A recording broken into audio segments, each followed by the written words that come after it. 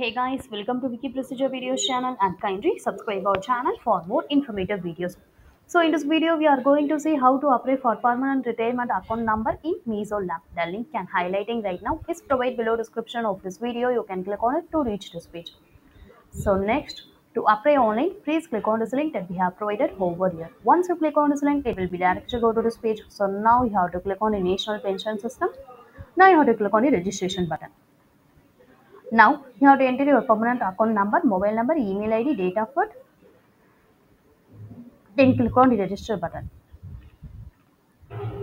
So once the required details are filled in, please click on the save and proceed button.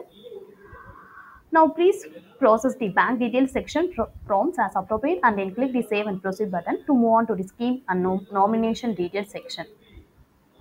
After that you have to upload all the necessary documents and then click on the upload button. Then we will reach on to the photo and signature details section. Please upload the photograph and signature as appropriate. Then click on the confirm button. After that, you have to pay the amount in online mode itself. A pop-up will be provided. Please click on the confirm button after confirming the details. Yeah, another pop-up will be provided. Please click on the proceed button to reach the online payment gateway page. Please process the online payment as, a, as per applicable mode. Once the payment is made, the PRAN number will be generated and it will be provided in the receipt page. So the number will be active after 5 days only. So please note it and keep it safe. So on the receipt page, please click on the Save Print Repayment Receipt button to save it for future reference. Then you can choose the type, enter the captcha the prompter space as applicable and then click the Generate OTP button.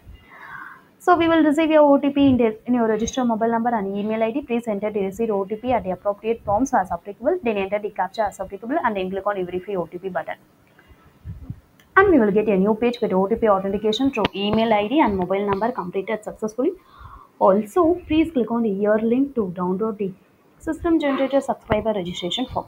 So you can follow the department notification and guidance to get the card as per norms.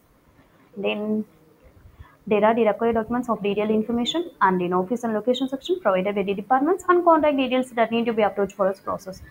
Then in fee section, so you have to be paid as per the authorities request. For online, you have to pay of rupees 500. So we have provided all the information in each and every section. If you have any queries or about videos, just comment us. So we'll get back to you as soon as possible. And kindly subscribe our channel for more informative videos. Thank you.